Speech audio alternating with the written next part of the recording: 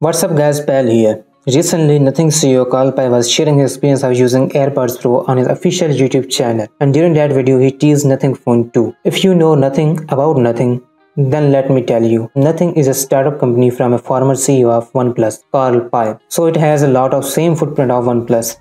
Last year, Nothing launched their first smartphone, Nothing Phone 1. The Nothing Phone 1 was a huge success due to its unique design element as the company sold nearly 750,000 units so far. 750,000 does not sound big compared to what Samsung, Apple and others sell every month but considering Nothing is basically startup company and considering the phone was sold in limited markets, the Nothing Phone 1 certainly got off to a good start. But the main turnoff was their mid-range chipset, Snapdragon 7785G. It is a good processor, but it was not top of the line flagship processor which was used by their competitors.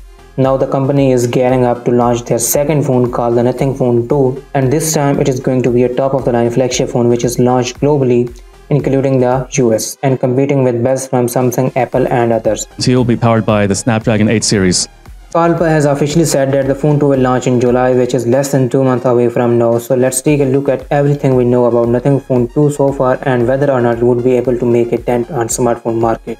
First, the chipset. Pei has officially confirmed that it's going to be Snapdragon 8 Plus Gen 1, the same chipset we saw on the Z Fold 4, which is to be honest a bit disappointing as it is a one year old chipset. But still, it is a 5nm chip made with TSMC production and it provides great performance and it is efficient at the same time. Now you might be wondering why the Snapdragon 8 Plus Gen 1 when we have the latest 8 Plus Gen 2. Well, according to company, it all boils down to the price. Since the 8 Plus Gen 1 is last year chip, it is now available for significantly cheaper price than the 8 Gen 2. Nothing wants to price their phone too aggressively to give it a competitive advantage over other flagship phones they want to introduce nothing to as a flagship killer. And since the chipset is one of the costliest component in a phone going with 8 plus gen 1 will help the company to price their phone around $600 which will give them a huge competitive advantage. But at the same time they are going to compete against google pixel 7 and samsung galaxy s23 which often goes on sale for less than $600 so it will not be a disneyland ride for nothing. They have to offer something unique to attract customers. Also considering the difference between 8 plus gen 1 and 8 plus gen 2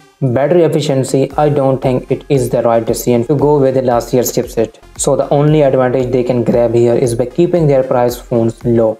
Moving on, Carl Pei has also confirmed that the Nothing Phone 2 will pack 4700 mAh battery and it will have a unique triple camera. Not sure if it will have the periscope zoom camera but the phone will be able to record 4K 60fps video as well as RAW HDR. The screen will measure 6.7 inch with Full HD plus resolution it is going to be an OLED panel with 120Hz refresh rate. Also the phone will have a narrow uniform bezel to give it an aesthetic look. Speaking of the look, we still don't know what it looks like, but the company has released a small little teaser showing part of its design. And interestingly, there is a toggle here. We don't know what it is for. It is possible it could be a mute switch, but since it is placed at the back, it is possible it could be just a design element. But I think it is going to be a control switch for LED lights on the back of the phone. And this time maybe these LED lights turn into an RGB lights, but who knows. Nothing also confirmed the Nothing Phone 2 will get 3 years of Android updates and it will have 3x more recycled parts. Since we are less than 2 months away from the launch, we are going to hear a lot about the Nothing Phone 2 and I will make sure to keep you updated so do consider subscribing for that and as always I will see you in the next video. Pal out.